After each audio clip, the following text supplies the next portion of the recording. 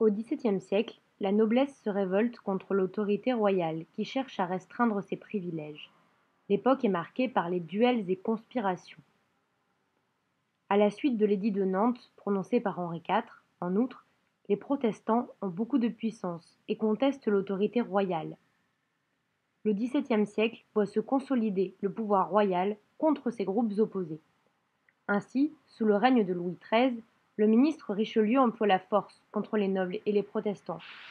Les catholiques cherchent à gagner du pouvoir face aux protestants. Les jésuites, qui font partie des catholiques, intègrent les milieux mondains, donnent un jour aimable à la religion.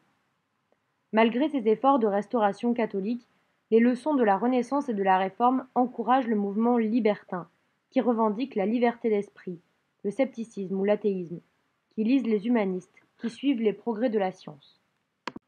Louis XIV a connu la Fronde étant petit.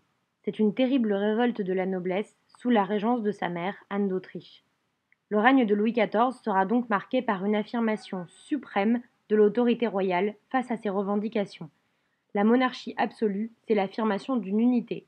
Une foi, la foi catholique, une loi, un roi, Louis XIV, représentant terrestre de l'autorité divine. Les nobles sont regroupés à la cour de Versailles pour être mieux surveillés. Versailles devient le centre du pouvoir, mais aussi des arts et de la littérature.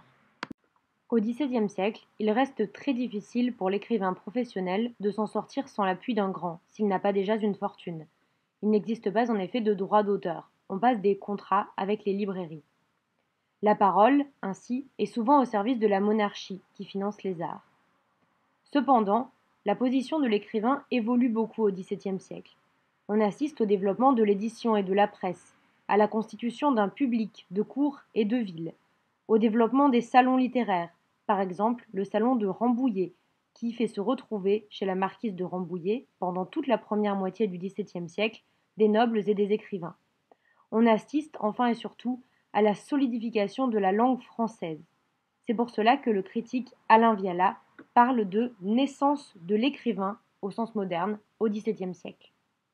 Le début du XVIIe siècle est marqué par une opposition aux poètes de la Pléiade. Ils sont condamnés pour leur langue, jugée trop obscure. La mode au XVIIe siècle est à la clarté, à la modération, à la transparence. Malherbe est le grand poète de cette période et pose les bases du classicisme.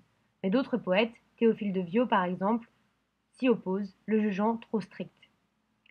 Le classicisme triomphe avec l'arrivée au trône de Louis XIV. Les théoriciens fixent les règles du bon goût comme l'Académie a fixé les usages de la langue. La monarchie a besoin d'une langue claire, compréhensible partout, pour s'imposer sur tout le territoire. C'est l'une des bases du courant classique. Cependant, il ne faut pas oublier que le classicisme se caractérise aussi par la complexité de sa réflexion et surtout par son plaisir d'écrire.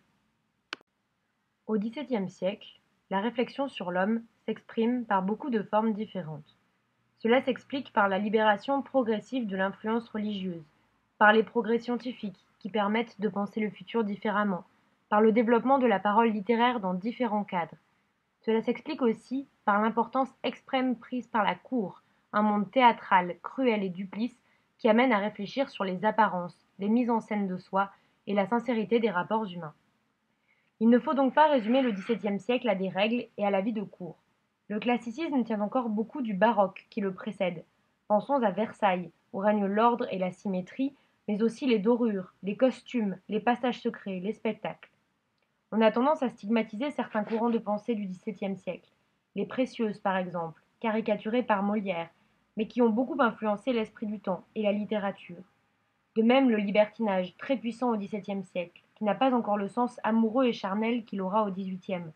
Les libertins sont des esprits libres, qui remettent en cause les présupposés de la morale. Enfin, le XVIIe siècle se caractérise aussi par son goût pour l'esprit, pour la langue, pour les bonnes mœurs, pour le plaisir de lire et d'écrire.